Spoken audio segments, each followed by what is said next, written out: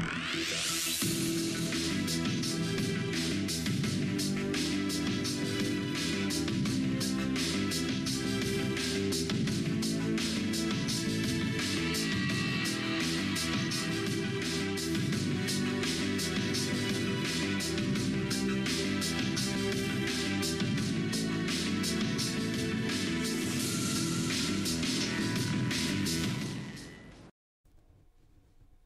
Hello there, and welcome to another Issues and Answers, a production of the National Television Network and the Government Information Service. I'm your host for this edition, Jessie Leonce, from the Department of Sustainable Development within the Ministry of Education, Sustainable Development, Innovation, Science, Technology, and Vocational Training.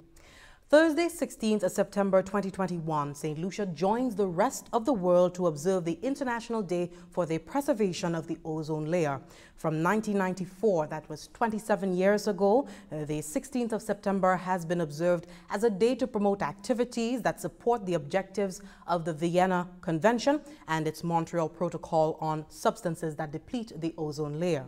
And since then, St. Lucia has registered its own achievements in this regard. Uh, we have successfully met several targets as a signatory.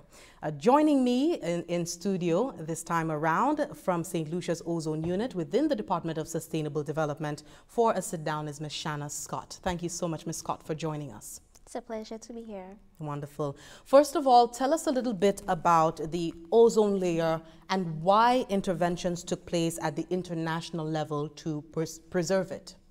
Okay, so the ozone layer is a protective layer, uh, protective shield that's located between 15 to 45 kilometers above the Earth's surface. And what it does, it filters or protects us from harmful ultraviolet or UV rays. Now these rays can have adverse consequences not only for human health, but also for plants and animal life. So what happened is in the 1970s, scientists discovered that there was a group of chemicals that was damaging the ozone layer, and they later become known as ozone depleting substances. So internationally, the international community, they rallied and they agreed to phase out these groups of chemicals, mm -hmm. which led to this um, the signing of the Montreal Protocol on substances that deplete the ozone layer. Okay, now speak to us about these substances. What substances or chemicals deplete the ozone layer? Okay, so they are uh, madman chemicals containing halogens, for example, chlorine and bromine, bromine, sorry, that will determine to be the cause of this damage. And collectively, as I mentioned before, they are known as ozone depleting substances. One group of these chemicals are known as chlorofluorocarbons or CFCs for short. And back then they were very popular and they could have been found widely in air conditioners and refrigerators. Mm -hmm. Also, the another group of chemicals called hydrochlorofluorocarbons or HCFCs, also um, methyl bromides and halones are also proven to be ozone depleting substances. And these um, chemicals could be found in a wide variety of products that we use in our everyday life. For okay. example, um, computer, um, computers, electronics and parts, um, um, car dashboards, even shoe soles these chemicals will use to make. Also, a lot of fruits and vegetables will fumigated with um, methyl bromide to kill pests. Wow. So what exactly happens in the atmosphere? Because it's an invisible, an invisible layer. So what exactly happens when these chemicals are let out into the air? What happens to the atmosphere, the ozone layer? Okay, so if we take, for example, a, a CFC molecule, or CFCs when they're released into the atmosphere. As was mentioned, CFCs contain chlorine. Mm -hmm. So when it's released into the atmosphere, it's absorbed by UV radiation and a chlorine um, atom is released. Now, one chlorine atom has the potential of damaging 100,000 ozone molecules. So when it's released into the atmosphere and it causes so much damage, it upsets the natural balance or the natural chemical reactions taking place in the atmosphere. Because there, there are a lot of chemical reactions taking place in the atmosphere because there are other chemicals in the atmosphere as we learn at school. Mm -hmm. But what happens is that the rate of destruction is far outweighs the rate of the creation of ozone, which leads to the thinning or damage of the ozone layer. Okay, now this is what's happening to the ozone layer. What effects uh, does this depletion have on life on Earth, human and other? Okay, so that's a very good question. So increased UV exposure reaching the Earth has been linked to increased cases of skin cancer for humans and also eye cataracts. Also, there's consequences for um, plant life in that you may get lower yielding crops and also animal life. If you look at, for example, um, increased UV radiation in the ocean can kill phytoplankton, which is the first block of the marine food chain. Mm -hmm. So there's dire consequences for human health um, plant, animal life, but also stuff that we may not, things that we may not think of. For example, I'm sure if you have your car and it's sprayed over a period of time, you may see that it's losing color, mm. but we may not attribute that to increased exposure to UV radiation, but actu that actually what's happened as it eats away on the paint of our cars. Interesting. So not all doom and gloom. There has actually been work done in the last couple of decades. I understand that the work that has happened through the Montreal Protocol has been one of the most successful um, unified approaches taken on the global scale. Uh, through the Montreal Protocol on substances that deplete the ozone layer in 1987. We had all 197 countries of the world committed to eliminating the use of the ozone depleting substances. Speak to us in the national context. What has what progress has St. Lucia made in terms of achieving targets of the protocol?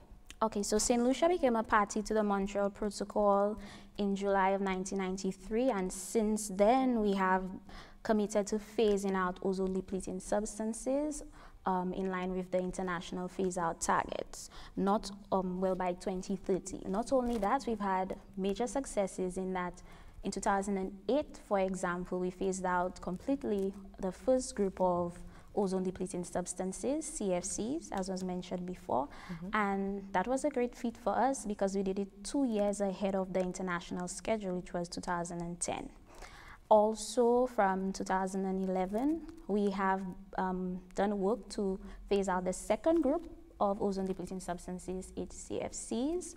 And uh, right now we're at a 49% um, reduction, which is way ahead of the schedule, whereas we're supposed to be at 35% mm -hmm. in 2020. So we can see right now that we're well on our way to phasing out ozone depleting substances.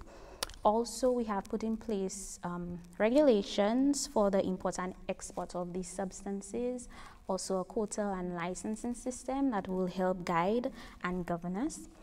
Um, we've also trained refrigeration technicians, our local refrigeration technician in good management practices, which would help in, in eliminating or reducing the amount of ozone depleting substances that um, get into the atmosphere when mm -hmm. servicing these equipment and also we've trained customs officials to help prevent illegal trade of these substances on our borders.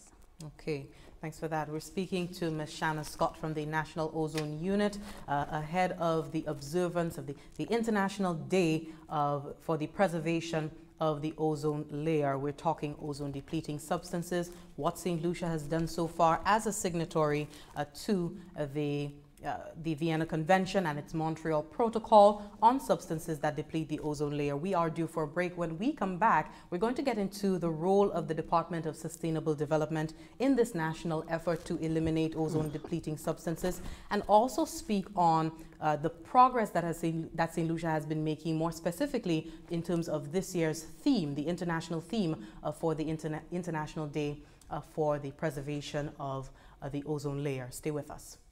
What's in the food you're eating? Do you really even know? All the chemicals and hormones used to accelerate their growth. All the artificial flavoring, sweeteners and colors too. We consume and we don't spare a thought for the damage that they'll do. No, think about the children. Think about the children. How Chemicals and GMOs are not the solution. Use organic and join. Excessive agrochemical use, additives, and genetically modified foods are harmful to health and the environment. Join the good food revolution. Grow, buy, and consume organic. A message from Rise St. Lucia and the Ministry of Sustainable Development with funding from the GEF Small Grants Program UNDP. The good food revolution. Thank you so much for staying with us. This is an edition of Issues and Answers on the GIS NTN, and we are bringing to you word on the observance, the International Day for the Preservation of the Ozone Layer. We're speaking to someone from the National Ozone Unit in the person of Ms. Shanna Scott. And uh, before uh, going to break, we were just speaking on the effects of ozone depleting substances on the ozone layer, as well as the interventions that have been made in the last 30 years or so close to 30 years uh, to reverse the damage that has so far been done. A work going on by every single country around the world. And St. Lucia has also been uh, registering some success, uh, quite a bit of success in terms of its part in meeting targets of the Vienna Convention and its Montreal Protocol on substances that deplete the ozone layer. Uh, Ms. Scott, I want to ask, what is the role of the Department of Sustainable Development? We know that is the, the department from which your unit, the National Ozone Unit, operates from. Speak to us about the department and uh, its role in this national effort to eliminate ozone depleting substances. Okay, so the Department of Sustainable Development is the focal point for a number of international multilateral environmental agreements, including the Montreal Protocol. The National Ozone Unit, which is housed within the department, is responsible for the day-to-day -day activities that will help us to meet our Montreal Protocol phase-out targets. Um, such activities include enforcement of our legislation, which with the help of key agencies like Department of Commerce and the Customs and Excise Department, the training and certification of our local air conditioning and refrigeration technicians, also um, training of enforcement officers, and of course, um, implementation of public education and awareness activities so the public is aware of what's going on and how they can get involved. Wonderful. The theme for this year's observance of the, the International Day uh, of the, for the preservation of the ozone layer is the Montreal Protocol keeping us, our food, and our vaccines cool. Uh, it obviously draws focus on the significance of refrigerants in the air conditioning and refrigeration industries. Now we know the cold chain is critical to the preservation of food and medicines. We're in a global pandemic and that is heightened not only in, in conversation about vaccines, but also the importance of getting food to certain parts of the world. Uh, what progress has St. Lucia made or is making rather to ensure that the cooling systems that sectors and residents, the country benefits from are sustainable or eco-friendly? Okay, so we have been promoting more not only ozone but climate friendly options or alternatives when it comes to cooling and not only that we have started training our local refrigeration technicians to use these alternatives safely also we are working to finalize St. Lucia's national cooling strategy which would introduce minimum performance standards and what that means in, in general is that we want to ensure that the equipment that comes in is not only efficient, but it will not waste energy and that it will not put a dent in our pocket at the end of the day. Okay. Now speak to us about the other work that is ongoing. I know uh, in addition to that, in, in, terms of the response, in terms of introducing uh, more sustainable, eco-friendly uh, apparatus for cooling systems, what other work is happening by the National Ozone Unit under and through the uh, Montreal Protocol uh, right now? Okay, well, I cannot speak about the Montreal Protocol without speaking about the Kigali Amendment, okay. which is the most recent amendment to the Montreal Protocol. Now, to put it into context, um, the substitutes or the replacements for the CFCs and the HCFCs that are being replaced are hydrofluorocarbons or HFCs.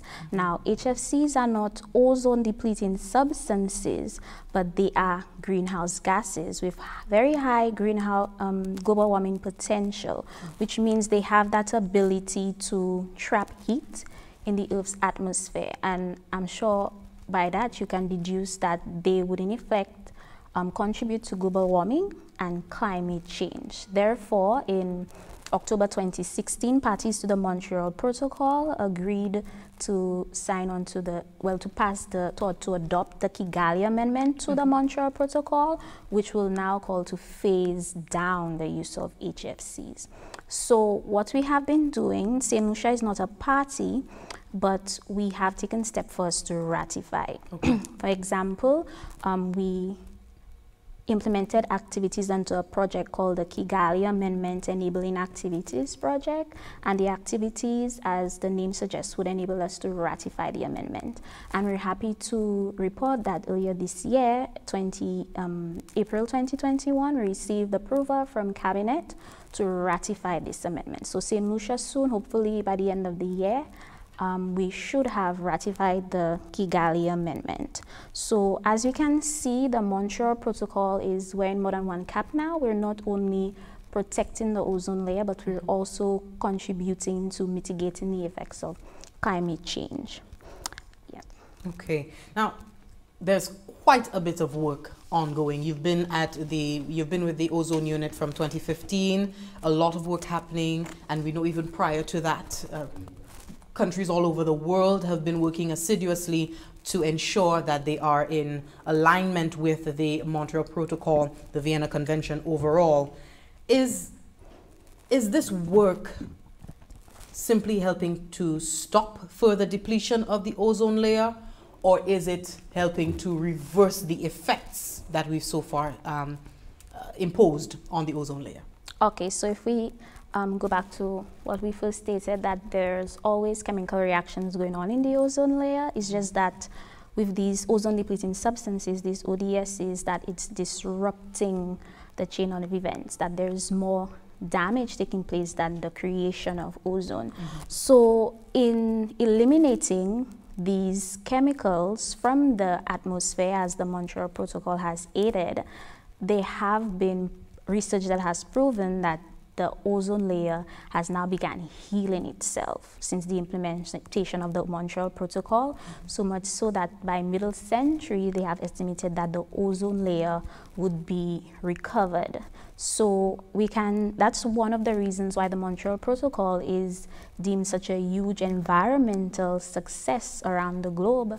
And also just to note that the Montreal Protocol has successfully phased out 98% of ozone depleting substances. Wonderful. How can St. Lucians get more involved? Because I, the, the, first question is, can we reverse this? Can we, you know, the, the question is with that and climate change, can we reverse these hard effects? But now, how can St. Lucians get involved? How can, uh, you know, St. Lucians move in on this movement, this cause to eliminate ozone depleting substances, particularly HCFCs by 2030? Okay, so sometimes we might hear about an issue and think that it's so far from us and probably we cannot get involved, but there are a number of steps that I took note of that we can all take part in. For example, we can protect ourselves and our families by wearing sunscreen when we go out. Also protect our eyes by wearing um, sunglasses or probably wearing long sleeves when we go out. Also to take care of our um, equipment our refrigeration and air conditioning equipment at home. Also, we should note that older um, equipment, older refrigeration equipment that we have do contain ozone depleting substances because probably when we purchased them, these protocols had not come into effect. So we want to ensure that when we disposing of these equipment, that we do it in a safe and sound manner that protects our environment on Earth and also the ozone layer. And also we have the purchasing power. We have the power to drive the That's market. Right. Mm -hmm. So when we purchase new refrigeration equipment, we could look for the label that says ozone friendly or climate friendly. Also, there's labels such as CFC, CFC free, it's CFC free, energy efficient. Mm -hmm. So when we buy these, we not only protect the environment, but we're also protecting our pocket because they consume less energy. So we do our part as well by being a sustainable consumer. And finally, if we have equipment, refrigeration equipment that's damaged, um, we could also check, um, check them for leaks as well. So if we know that there's a leak or it's damaged, we should ensure that it's repaired first before it's recharged to prevent um, ozone depleting substances from getting into the environment. And also we did mention that we train technicians, refrigeration technicians, so ensure that you use a certified technician from the government when servicing. So you can, they're issued an, a technician ID card, so you can always ask them when they come to present their technician ID card so you know that they've gone through the suitable tra um, training that will enable them to handle your equipment safely. Wonderful. Shanna, it has been a pleasure having you here and giving us all of this information as we come upon the 16th of September, uh, the International Day uh, for the Preservation of the Ozone Layer. I'd like to thank you, our viewers, for watching. Shanna, thank you again. My name is Jessie Leonce signing off for now. We do hope that you can take this information, read up a little bit more, go onto a browser and get some more information on the work that not only St. Lucia is doing, but countries around the world uh, in adherence to uh, the Vienna Convention and its Montreal Pr Protocol on substances that deplete the ozone layer. Quite a bit of work has been happening to reverse the effects and to heal our ozone layer and so that we can have a better earth, right? Mm-hmm. yes. Thank you very much, Shanna Scott. Uh, from the National Ozone Unit. My name is Jessie Leonce signing off for now. Uh, do stay tuned for more uh, programming on NTN and uh, Goodbye. Take care.